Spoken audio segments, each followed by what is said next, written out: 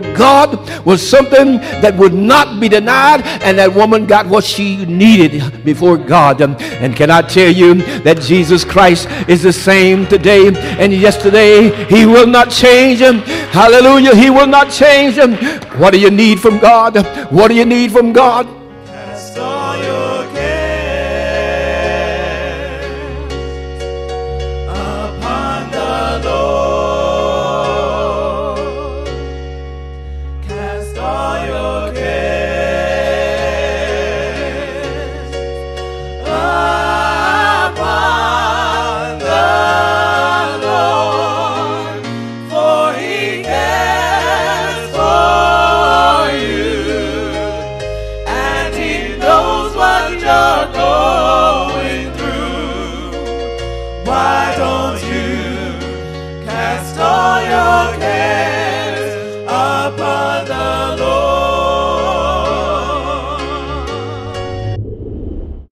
Uh, 15. I'm, I'm, I'm still on the thing of faith, but look at Matthew 15.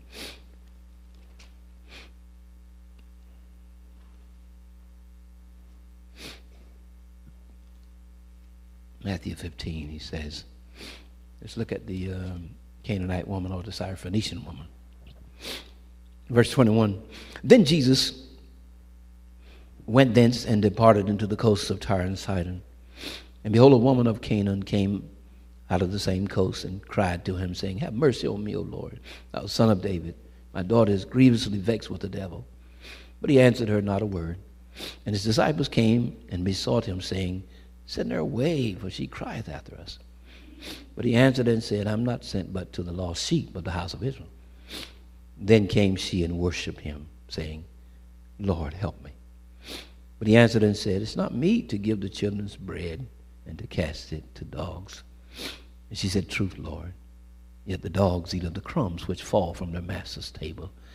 Jesus answered and said to her, O woman, great is thy faith. Be it unto thee, even as thou wilt. And her daughter was made whole from that very hour. It was said that uh, the centurion, remember the centurion came to Jesus, I think his daughter, or no, his servant, needed healing. And uh, just uh, they were sharing how uh, Jesus' mission was to the Jews. And so he didn't get outside of Jewish territory. This was an instance where he had gone to rest, come aside to rest for a while in uh, coast of Tyre and Sidon. And, but this woman came where he was. And the centurion had a lot of favor with the Jews, and he favored the Jews, and they favored him. And see, Jesus was always concerned about his mission to fulfill it. And so it was said that if he, uh, the, one of the reasons he answered the centurion's prayer was his faith, but the other was this uh, since he had such favor with the Jews, it could have been possible that it would have interfered with his mission ministering to the Jews because of the favor that the centurion had. And they said he loved our synagogue, he loved our people, da da da. And so Jesus answered, but the Syrophoenician woman, there was no connection. She was a Gentile. And so first she came to Jesus there, and it said Jesus didn't say anything. He just like he ignored her. And then uh, the writers were sharing about how uh, at this point had he began to make it clear or try to minister a lot to the Gentiles, it could have interfered with his mission also. And so, with his great wisdom, he simply at first didn't say anything. He knew her faith and so on, but he wanted to bring it out. But he was not quick to just jump on the fact that she was a Gentile and answer prayer. So he began to tell her, he said, um, first he didn't say anything. Then he said, I'm, I'm only sent to the lost sheep of the house of Israel. This is my, this is my assignment. This is my mission. And so she said, uh, so she came and worshiped and fell down. Now, the, the study says that, you know, this, this Canaanite woman, she was actually like uh, annoying the disciples. They, they were like, get, get her away from us. And, uh, but Jesus carefully handled the situation. Isn't he good? Is so marvelous. He carefully handled the situation. He understood her need. He understood everything it. He understood that she was a Gentile. He understood everything. So first he just ignores her. And then he said, Well, I'm only sent to the lost sheep of the house of Israel. And then she came and fell down and worshiped him. Lord, help me. He says, not me to give the children bread to dogs. Now, it wasn't that he was trying to insult the Gentile, uh, I, I, believe. Now, there's some translations said it was uh, not meet to give uh, the children bread to lap dog, like a, a, a, a house pet. It was kind of like during that time. It said they had they had, it was common for them to have lap dogs or little, you know, little, little pets, and so it was more of the quality, the quantity that he was going to he would give. This is where she was appealing to him. He said, uh, um, "It's not meet to give the children bread to dogs." And because the lap dogs had favor in the households. And so uh, that's one, one, one, one uh, explanation. But the point was that uh, I don't think he was trying to insult the Gentiles in this process. And so then she, she when he came, she came to him, and, he, and when he said that, she said, True, Lord. But yet, the little pets, or the little puppies, or the lap dog, ever how you want to put it, they do eat of the crumbs. She was right. Jesus knew she was right. So, oh, woman, great is your faith. See, faith pleases God. Faith pleases God. Now, he, now, in order for our faith to grow, this is the hard one, but it's important. We know we have to allow Him to put us in situations that we will believe Him so that our faith will grow. That's not pleasant, I, I, I, know, but but but know how how faith is, right?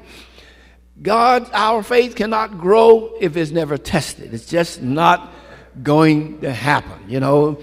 And and and and, and I and I'm, I'm one of the first one to say I'd rather have it other way, but but truthfully, I'd rather have His will more than anything else.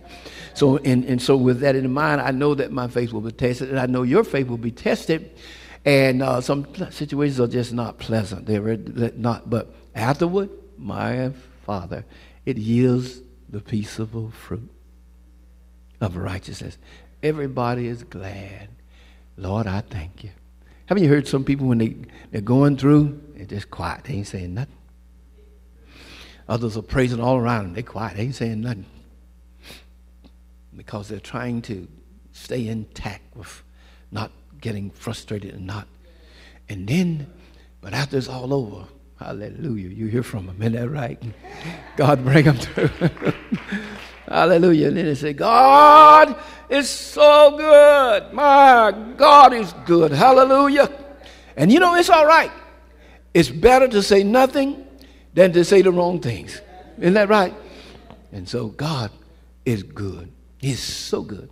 So the Syrophoenician woman this is what uh, blessed me when the writer was saying.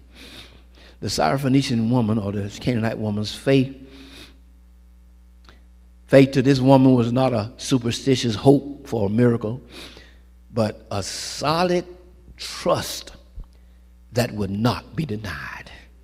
I love that. I said, my God. Wasn't some little hope. I'm hoping that, you know, I, I heard about him. I don't know if he'll, he'll even consider me, but I'm going to see. It wasn't not a hope. That woman had a solid faith that wouldn't take no for an answer.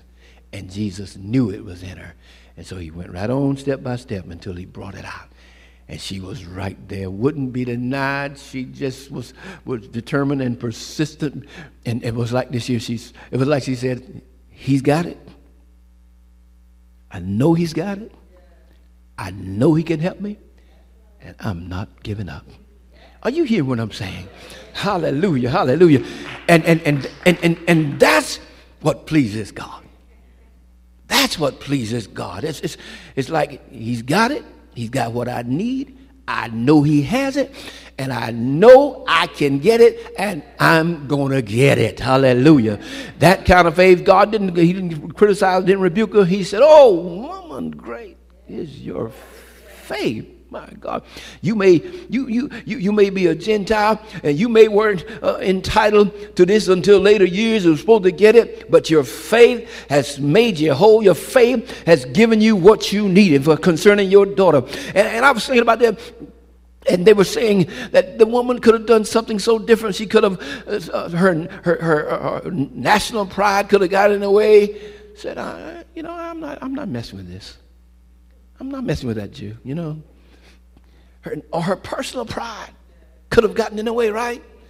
But the woman would not be deterred, saints. Are you hearing what I'm saying? She wouldn't be deterred. She knew he had it. And she knew that God, and it wasn't like she grew up a Jew and, and knew all of this about God. She had heard somebody. Are you hearing what I'm saying?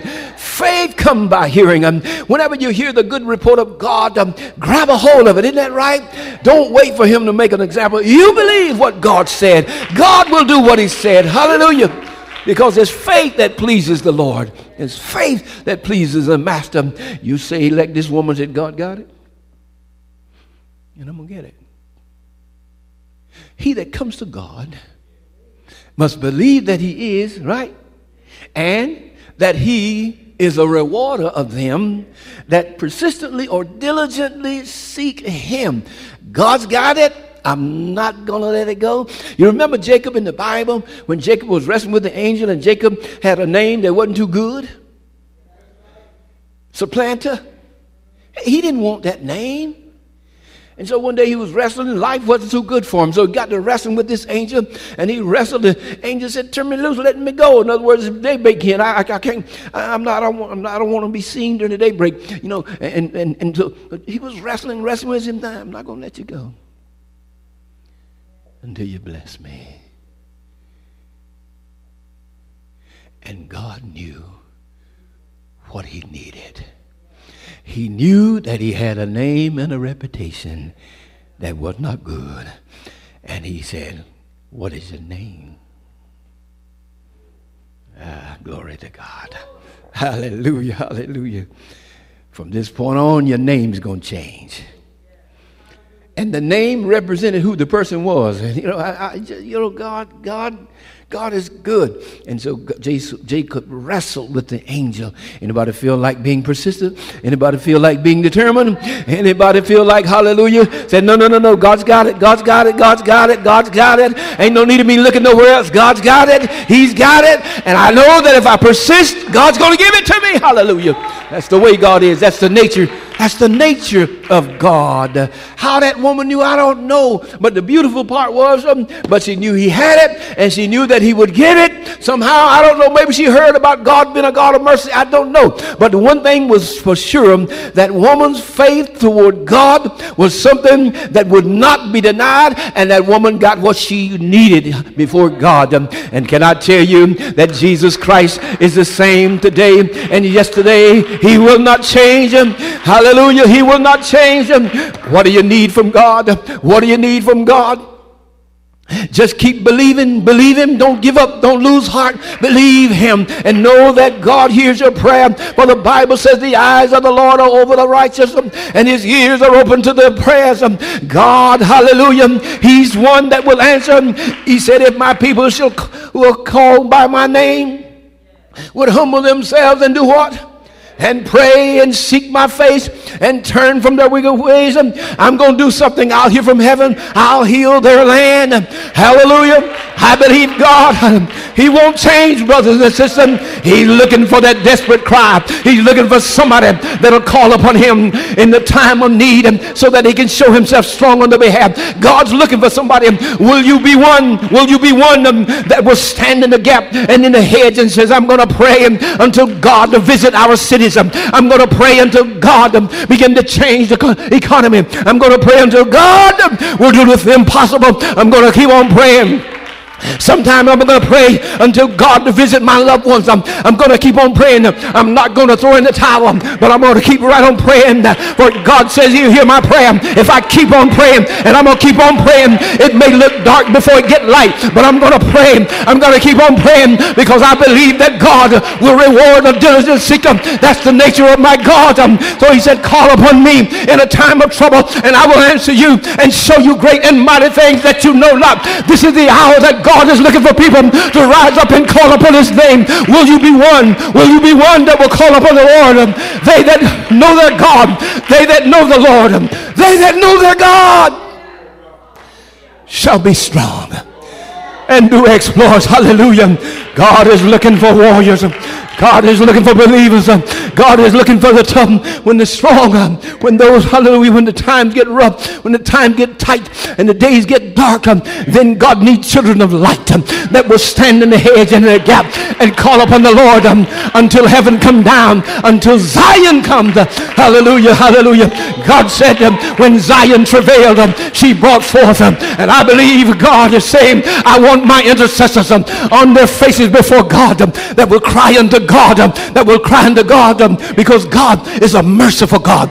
God is a God of mercy. You know, God can't just hear a person's crying out to God with the sincerity of their heart and ignore their cry. Hallelujah. You remember this about Moses and God, God, the children of Israel, uh, they were crying out to God. They had sinned and messed up. And then Moses was interceding. Hallelujah. It was like, God, leave me alone. Let me just deal with this, people. But Moses, the man was interceding. And there's something about intercession prayer with a righteous person. He kept on interceding and, and it was pulling on God um, and seeing God. Moses knew something about God's mercy. And so he was calling on God. He knew that God um, is a God of mercy. Yes, he can, he can do the judgment, but God is first and foremost a God of mercy. And so Moses was standing in the gap uh, and pleading with God. And, uh, and I heard the Bible says, God said to Moses, Moses, let me alone, man. In other words, you getting to me. Yeah, these people are rebels, but, but, but Moses wouldn't let him go. He kept right on interceding. What about you? Will you intercede for your loved one? Will you intercede for them now until God, uh, until God bring forth um, salvation to your loved ones? What about you now? Will you pray for those cities? Uh, will we pray for the inner city? Cities, and oh, which are so deplorable. Will we pray for the inner cities until God rain righteousness? For he said, where sin did abound, grace did much more abound. There's more grace for us now, and we can see the hand of God's grace as we call upon the name of the Lord. Call upon me, he said, in a time of trouble, and I will answer you, and I will show you great and mighty things that you know not. Hallelujah. And there's an hour when we can frequent the throne of God. Faith pleases our Lord. Let's not get weary and tired and well doing. Lord, I've prayed and I'm tired. It looks like nothing is going to change. Let there come a revival in our faith. Hallelujah. Let's let God revive us today. Oh, the lying demons have come and they put forth lies. But God says, uh, no, no, no. I'm a God that hears and answers prayer. I'm a God, hallelujah, that I'm touched with the feelings of uh, your infirmities. I'm a God, um, hallelujah, that loves, that, that will come and heal the oppressed and lift up the bowed down heads. And I will strengthen the feeble knees. Uh, but I need an intercessor. I need someone that will stand in the gap so that I'll not bring the judgment. I'll not let the enemy do what he want to do if I get someone to stand in the gap. Hallelujah. Hallelujah. I'll make the change and I will reign upon that soul. I'll reign upon that household. I'll reign upon the families. I'll reign. I'll show my power. I'll show my power and I'll loose the bands of wickedness from off of the people. Hallelujah. And I'll bring great joy to that city. Hallelujah. If I get these intercessors, if I get my people in position, then I can run my play. I can do that which nobody can do. God is alive. Faith, faith. We believe Him together. Let's ask Him for a renewed strength and a renewed determination today. Heavenly Father, I thank you. And I give your name the glory. Revive our hearts today. Revive us Holy Father, for you are so gracious and you are plenty in mercy. We need your strength. We need your wisdom. We need the touch that comes from God. And Lord God, there was the woman with the issue of blood. And this woman pressed through a crowd of people. My God. Ceremonially, she could not qualify. She was unclean. But somehow, this woman pressed through the crowd um, to get to Jesus. She said, If I but touch his, the hem of his garment, I shall be whole. All the odds was against her, but she pressed. Somebody say, press. She pressed through the crowd and she got her miracle. God is the same yesterday, today. And I heard the Lord say, He said, delight yourself in Him, and He will give you the desires of your heart. Hallelujah, hallelujah, hallelujah.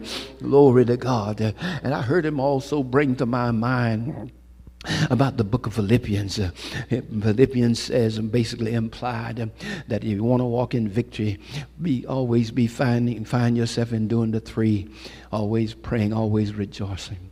And always giving thanks. Uh, ah, glory to God. If you if you're stuck, it'll bring you right out. God will bring you right out. God is winning. He's with us, saints. Strengthen your people now by your Holy Spirit. We thank you for the love you have. Thank you for the steadfast love, God. Thank you for the hope that's in Christ. Jesus our Lord. Build and strengthen and heal. Now by your Spirit, O oh God, we'll surely give the glory to you. We'll surely give the honor to you. Help from your sanctuary. Help from your sanctuary.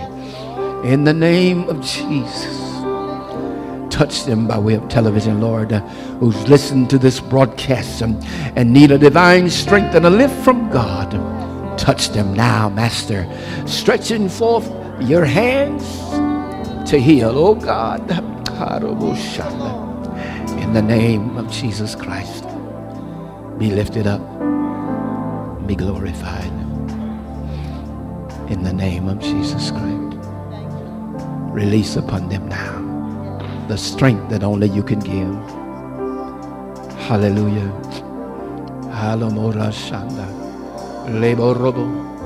There's someone here that's listening by web television. There's a situation that you're in right now.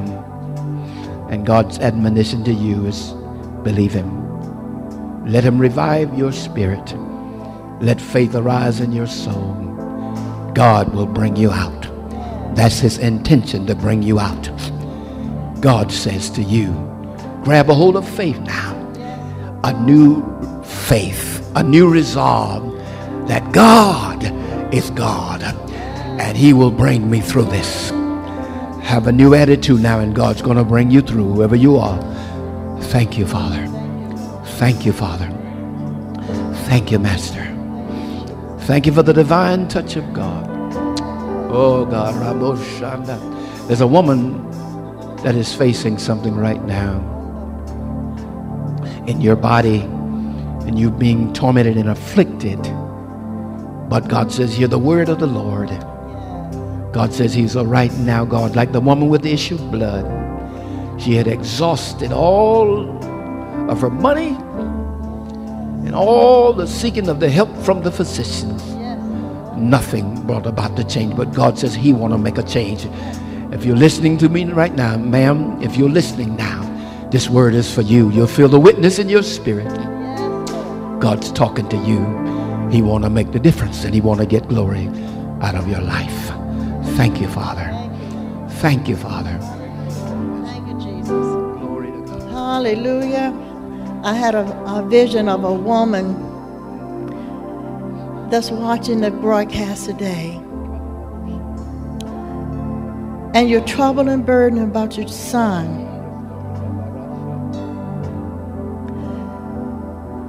but God said He heard your cry and He heard your prayer.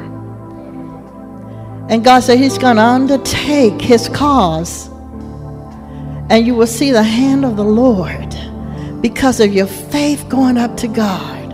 Hallelujah. God said He's will turn the situation around. It'll work for his good. Lord, we thank you. We ask you for grace for this mother. In the name of Jesus, give her strength. Hallelujah. And give her peace. in the name of Jesus, for nothing is too hard for you nor anything impossible. Hallelujah. Glory to God. Lord, we thank you. Hallelujah, Jesus, that you're going to bring her son through and bring him out. Hallelujah. In the name of Jesus. Lord, we thank you. We praise you. Hallelujah. Glory to God. And there's another woman that's been praying for her son. Hallelujah. That's in the gang uh, culture. And God is going to turn it around. God is going to deliver him out of it. Hallelujah. Hallelujah. And you will see the hand of the Lord. Hallelujah. In his situation.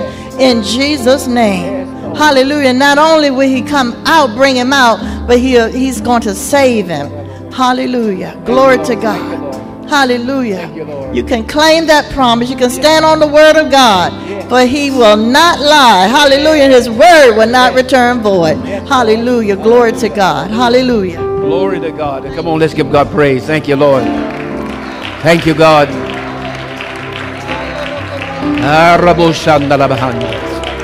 Glory to God. Glory to God.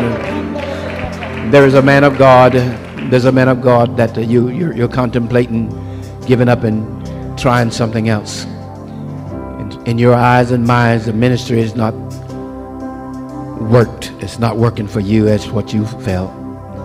But hear the word of the Lord today. God said he wants you to look again toward him and believe him. And God's about to turn some things around for you. But you got to have a new resolve and begin to settle it in your heart that God has called you. And you are going to obey God. And God's going to turn things around for you drastically, but you must believe Him now. God said, Don't throw in the towel, don't give up, don't change what you plan and what God has put in your heart, but do it and believe God. And a new hope and a new resolve, hallelujah, is coming your way. Father, I thank you for that man of God. Ah,